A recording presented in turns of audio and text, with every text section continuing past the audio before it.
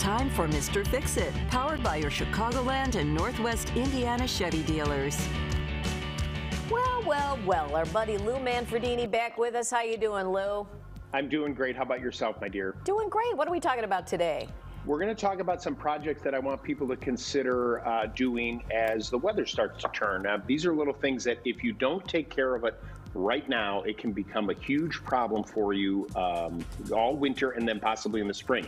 Number one is your garden hose. How many of you still have the garden hose stuck and hanging on there?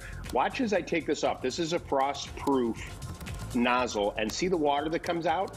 If you don't drain that out, that water that just came out of there will freeze inside that wall.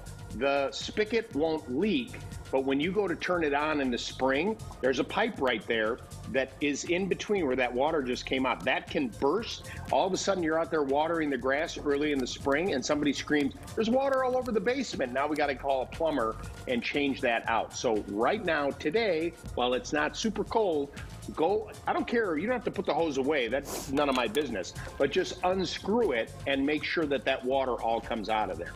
Uh, number two, uh, let's talk about um, the uh, dirt and debris that's around your house. If there's a bunch of stuff like that you packed away for the spring, ladders and all that kind of stuff, and piles of wood that is just a complete mess outside, those are safe havens for rodents. Ooh. And what they're going to do is they get underneath there, under that wood, of places like that, and now they're like, hey, it looks like it's warm in here. I'm going to start chewing my way in. So you can uh, bait those areas. First of all, clean them all up. These are indoor and outdoor. Uh, make sure you're choosing the outdoor. This is actually a product that is housed inside of a plastic container. So if you have pets and whatnot, they can't get at it, but the rodents still can't.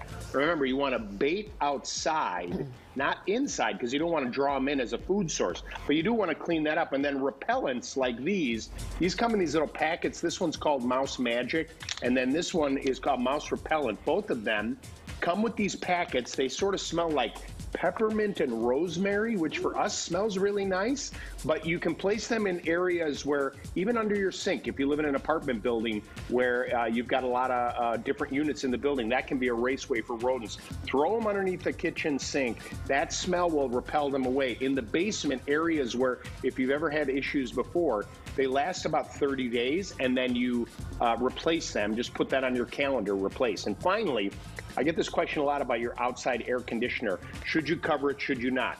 This is how I like to cover the AC unit, just at the top like it's wearing a hat. And huh. that ah. same rodent issue, Robin, if you buy the covers and you go all the way down, it becomes like a hotel. Ooh. And it's a warm area in the cold. They get inside there. And one thing that rodents love for some reason, they love to chew the wires. Anybody that's had a problem with squirrels or mice chewing up a car where they chew the wires inside a car under the hood and it costs thousands of dollars, the same thing can happen with your AC unit. So buy a little bit of plastic or a tarp over the top, tape it on the top, that's just the part I want to protect is that fan blades if we get a heavy snow load or ice that can damage it, but leave the sides open, it's perfectly fine. Look at that. That is all news I could use today, Lou. Well done. You're welcome. You are welcome.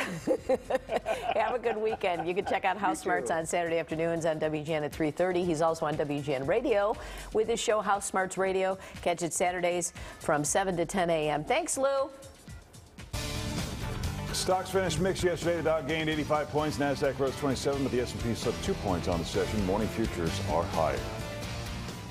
All right, welcome back. It is uh, Friday. Time for our